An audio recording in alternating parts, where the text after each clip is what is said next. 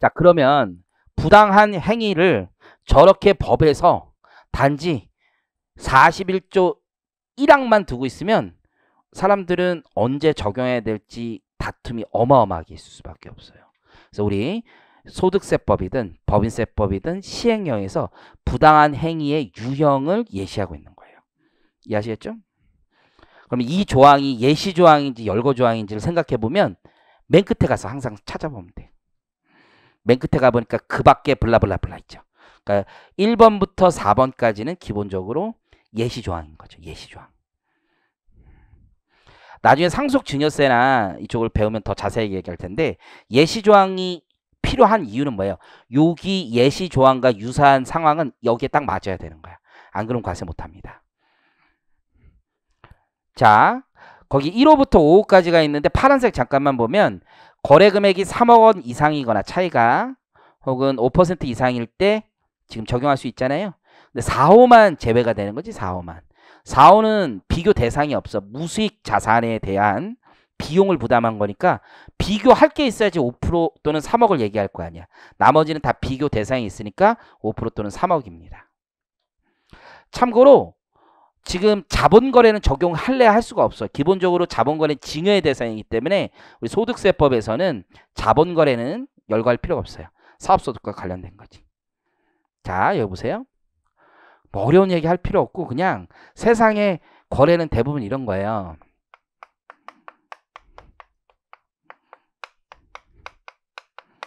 매매가 있는 거고 자산의 매매.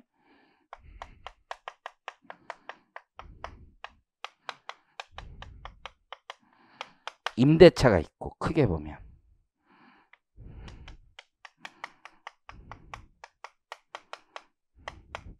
보통 이런 게 있는 거야.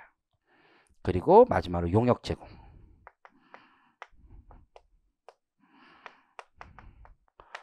이런 것들을 거기다 써놓은 거야. 이런 것들을. 이해하시겠어요? 거기다 써놓은 거라. 말이 어려울 뿐이죠. 매매에서는 양도인 있고 양수인 있는 거죠. 부당행위를 적용한다는 건 양도 인에게 적용한다라는 얘기는 그죠? 무슨 얘기야?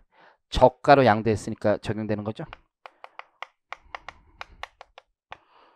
양수인에게 적용되는 경우는 고가로 양수했기 때문이죠. 근데 여기서 양도 양수라고 썼지만 양도소득세 과세 대상은 지금 조문이 얘기하고 있는 건 하나도 없는 거예요. 응? 양도소득세는 별도 조문이 있는 거지. 그럼 여기서 말하는 자산은 뭘 얘기하는 거야? 사업용 재고자산을 얘기하는 거야. 사업용 재고자산. 그래서 거기 보니까요. 특수관계로부터 시가보다 높은 가액으로 자산을 매입하거나 특수관계의 식에게 시가보다 낮은 가격으로 자산을 양도한 경우 있죠. 그죠? 2호를 보니까 금전이나 그 밖의 자산, 여기도 자산 있잖아. 용역을 동그라미 쳐봐. 무상. 거기다가.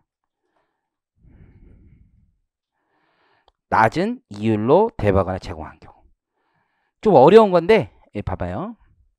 내가 사업자인데요. 사업자인데 재고를 무상으로 주잖아요. 재고 자산을. 그렇죠?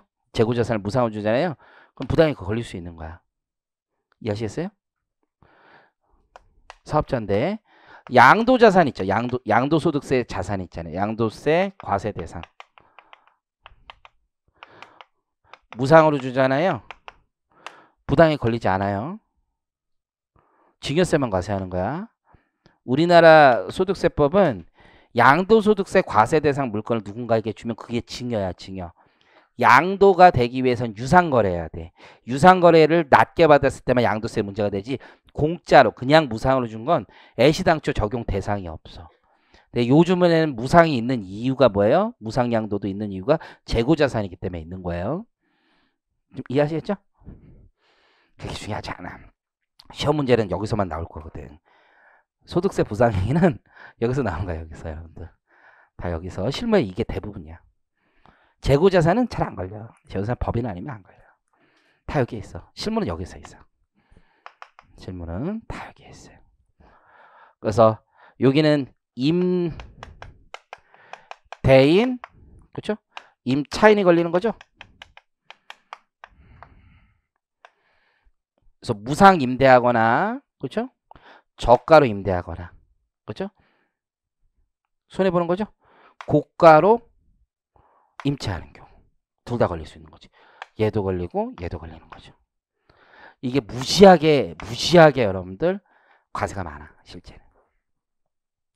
이게 대부분이야. 실제 세무조사 나면 여기서 다 걸려 여기서 자산 임대차야. 에이, 나 이거 이거는 거의 안 걸려. 얘는 법인세법 가지입금이 걸리는 거고 소득세법이 이거 다 걸리는 거. 한번 볼까? 이런 경우가 많거든. 대표이사가 가진 건물입니다. 대표이사 개인 건물이야. 개인의 아이고 개인의 건물이야. 여기에 회사가 입주하는 거야. 회사 입주. 이게 얼마나 많겠어 세상에. 건물은 건물은 프레셔스한 거라니까 자기가 가져 자기가 자기가 번 돈으로 열심히 해서 법인을 하나 차리고 법인 명의로 안 사. 개인 명의로 삽니다. 많이 그래 많이. 아주 큰 건물이 아닌 이상. 그리고 자기가 운영하는 회사는 여기 들어가는 거야. 물론 1층에는 안 들어가겠죠. 1층은 편의점 이런 거 주고. 그러면 세무조사 나와서 부당이 무조건 걸라고 합니다. 임대료 왜 이렇게 적게 받았어요? 이랬겠죠? 임대료. 임대료, 임대료. 이거 왜 이렇게 적게 받았어요? 그렇죠? 너무 적게 받았어요. 그래서 보통 어떻게 비교하겠어? 주변 시세하고 비교하겠죠. 주변 시세와 비교하는 거야. 시가라는 게 여러분들 보증금 마이너스 전세금 곱하기 정기예금 이자율 있지? 보충적인 방법이야. 주변 시세가 당연히 원칙이지. 주변 시세. 그렇죠? 반대의 경우도 가끔 있어. 회사 건물에 내 개인 사업장이 들어갈 수도 있지. 내가 임차인이 될 수도 있잖아요. 특수한 게 아버지 건물 뭐 이런 것도 있어. 아버지 건물에 내가 들어간다든가 임차인. 이때는 왜 이렇게 많이 줬냐고 하면서 주변 시세랑 비교를 안 하고 보충적 방법을 자꾸 적용하려고 그러셔. 보충적 방법이 어떻게 나오는 거야? 시가 50% 전세금이나 보증금 아니야. 그죠? 이게 여러분 여기에 정기예금 이자율이야. 이게 정기예금 이자율이 2%대야. 2%밖에 안 나와. 이게 임대료하고는 현저하게 낮아요, 여러분들. 게임이 안 돼. 그리고 이 시가도 기준 시가야. 대부분 감정을 받은 게 없기 때문에 기준 시가에 때려 놓으면 은 주변 시세가 월 천만 원인데 이거 백 몇만 원밖에 안 나와. 백만 원 초반밖에 안 나와. 그렇죠? 왜 그거보다 더 많이 줬냐 그러면 어떻게 하냐 이거. 살 수가 없는 거지, 살 수가. 화내는 게 아니라 이거는 주변 시세하고 비교해 줘야지, 주변 시세하고.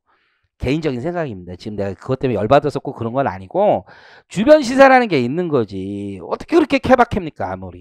이때는 주변 시세고 이때는 이거 쓰고 이러면 안 되죠. 항상 통일적으로 봐야지 통일적으로. 개인적인 생각입니다. 요게 많아요. 요게 임대, 임대차가 많아요.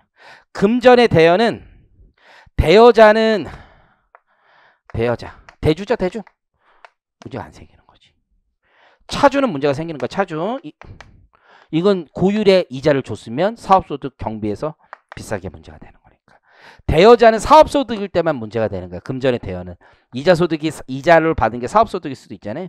이때만 문제가 되는 거지. 이론적으로는 있지만 이거 적용하기 힘듭니다. 현실적으로. 그게 유형이라고 보시면 돼요. 대신에 이제 부동산 임대에서 이런 건 있지. 주택 임대에 있어서 아버지랑 같이 사는 거, 어머니랑 직계 좀비소. 그죠? 예, 주택을 무상으로 사용하게 하고 실제 거주하게 하면 그거는 적용하지 않겠다는 거지. 만약 그거면 내가 이제 나도 이제 집 아버지 내 집에서 사시거든. 따로 살고 있지만 그 내가 뭐 나보고 받으라면 호로 새끼가 되는 거죠. 소득세법이 호로 새끼를 장려할 수는 없잖아요. 그러니까 이거 안 받아도 되는 거야. 아버지가 대신 실제 거주하면. 우 아버지가 거기 안 살고 친구 임대 주고 그러면 안 되겠지. 거기 거주하시면. 대신에 증여세법이 빡세지. 이게 5년간 계산했을 때 연, 5년 합산 계산으로 1억이 넘으면 증여세가 과세될 수 있지. 무상 임대료가 증여세에서 5년 합산해서 1억이 넘으면 과세할 수 있다는 거야. 그 증여이익 상당액이. 그걸 과세하지 않기 위해서는 딱 한 가지 방법이 있지. 같이 살면 되죠. 법조 보면 같이 살면 돼. 같이. 그렇죠? 같이 살면 된다는 거죠. 근데 같이 살 수가 있나요? 쉽지 않죠. 저희 알파 보고 같이 살자 그러면 지금 저보고 너 혼자 가서 살라고 그럴지도 몰라요. 그럴 가능성이 있지. 저는 이제 한 10년 넘게 와이프 이제 부모님과 같이 살았는데 어, 이제는 못 살겠어요. 나도 못 살겠어. 나도 뭐 그냥 그런 거지 뭐. 아버지를 내가 싫어한다는 게 아니라 아버지는 친하게 잘 지내요. 친하게 잘 지내는데 대화는 없어. 지난번에 아버지 생신에서 갔는데 내가 생각해 보니까 세 마디 하고 왔더라. 아버지 저 왔습니다. 용돈 드리면서 생신 축하드려요. 이거 쓰세요. 저 갑니다. 그게 그게 전부였던 것 같아. 대화가 없어 이게 나야 되니까 이게 너무 그렇더라고. 아우 내 아들하고는 대화가 좀 많은데 나중에 우리 종민이가 나한테 그럴까 그 걱정이 되더라고. 아버지한테 잘하는 모습을 보여야 되겠다 이런 생각이 들더라고. 그래서 아, 난내 동생 그래도 말을 많이 한 편. 내 동생은 내가 진짜 아, 뭐라죠? 엄마랑 둘이서 여행을 한번 갔어요. 터키를 저 대박이지. 어 이거 착해요 진짜. 아버지랑 이번에 또 여행을 한번 간다는 거예요. 그래서 어디 가냐 했더니 묻지 말라고 그러더라고. 일본 가는 것 같아. 어쨌든 간에 묻지 말라고 그러는데 또 간다고 그러더라고.